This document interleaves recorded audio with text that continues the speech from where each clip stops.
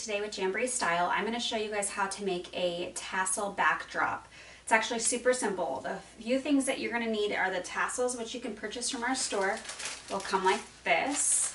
Some string. Um, I use clear fishing line. Uh, tape measure, tape measure, tape, either one. Um, probably tape measure is going to work better. Some scissors and either tape or tacks. So how you start is just figuring out how big you want your backdrop. Mine is five feet wide by six feet tall. So what I did is I went ahead and um, measured out the five feet wide with tape because I'm on a backdrop. You guys will probably be doing this in between two walls or on a wall. So you're not going to need the tape like this. Um, but I am going to use little pieces of black tape to tape my string. Again, you guys are probably going to want to use tacks. I just can't tack it to the fabric. So if you do the same exact thing I'm doing just with tacks, if you're on a wall um, or in between two walls, that'll work great. You can use tape if you can cover it up somehow. Um, I used the um, this black duct tape. It's like the Gorilla tape. It's amazing. It sticks super well. You might take stuff off your walls though just kind of depends on your application. So what I do to start is I want to start 10 inches from my ceiling. So what I'm going to do is um, measure down 10 inches from my ceiling on each side. So I'm going to do this. I'm going to mark 10. And then I'm going to do the, that'll be my first, that'll be my first row. So um, my string will go from here to here and go across. Uh, I want them to be six inches apart. That's just what I think looks good. You can do them further apart if you want to use less tassels or closer together and it'll just create more of a full look or vice versa. So I'm just going to go ahead and measure down six inches on each side and continue following that. So I'm going to do that.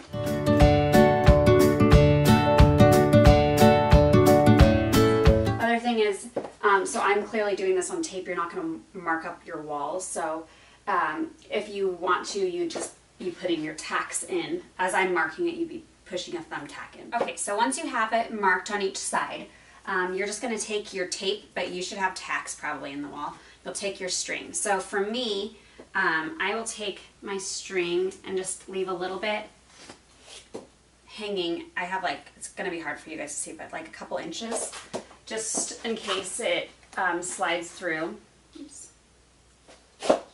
I'm going to just take my tape, my tape on top of it, and then line up my string with the line I just marked. So for you guys, you can wrap your string around your thumbtack and go to the other side, take a piece of tape, pull it tight, make sure it's on your line and straight, mark it, and you can either cut your string or you can just loop it down to the next one and then cut them all at the end.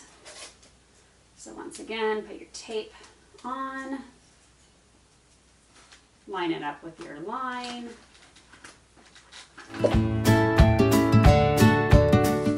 You could use a backdrop. So if you have like a framed backdrop, just don't put the backdrop on it and use the frame to tie tie your strings to. That's another thing you guys could do if you have one.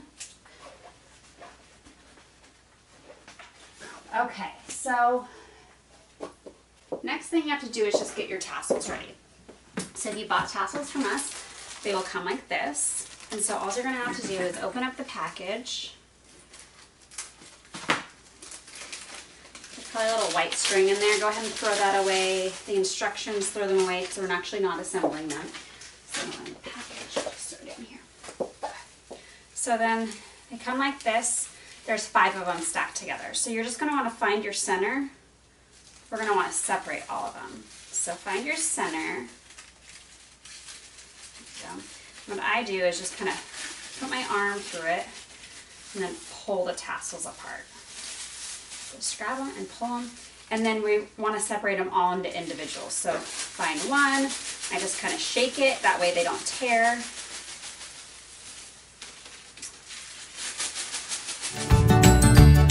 So all my tassels have been separated into singles.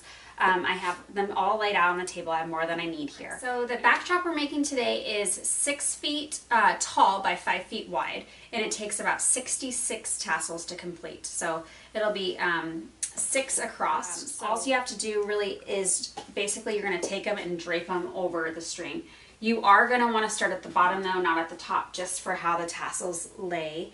Um, it's just a, a little trick that'll make it easier for you guys. I am doing it randomly. I find doing it in a pattern is actually almost harder. Just making sure your colors are spaced out evenly both vertically and horizontally. Um, so I'm just going to start here with burgundy on the bottom.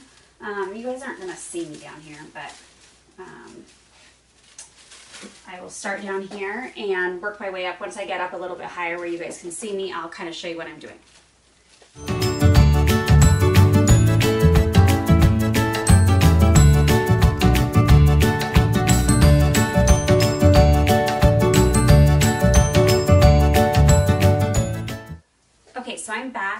The first five rows already, but I'm to the point where you guys can see what I'm doing. So all I do is take the first tassel. They're already separated for us. I kind of do the same thing where I put my arm down the center and then I just grab them and drape them over the string. And then it should just hang where the crease is.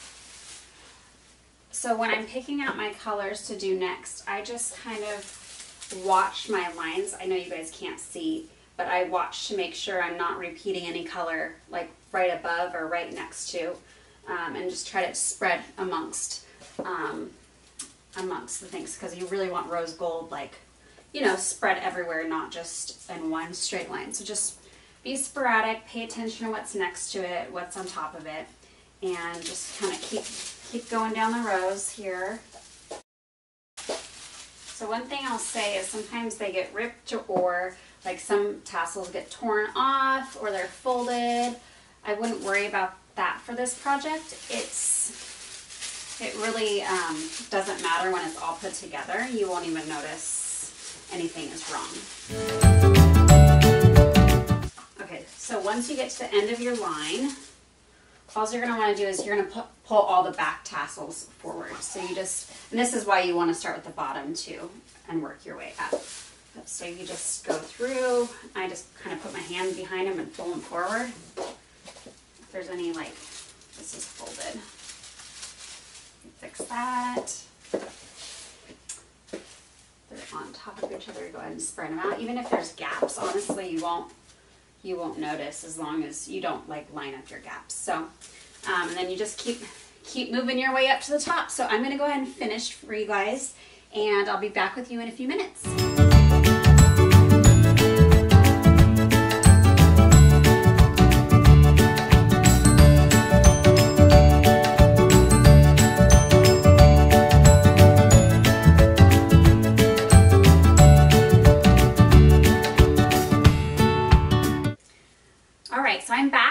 Completed. The only thing I like to do at the end is just kind of go through and get rid of anything that's wavy or curly or not straight just because I'm a little OCD. Um, so I just kind of go through with my fingers and use it like a comb. And there we go, it's done. It's super easy, super forgiving. Um, you know, I think anyone can do it even if you're not a crafter. I know that it is easier if you have two people two people can be taping one on each side and um, they each can be working on a row. So it'll make it obviously go faster, but you can totally do it by yourself. I did the whole thing by myself.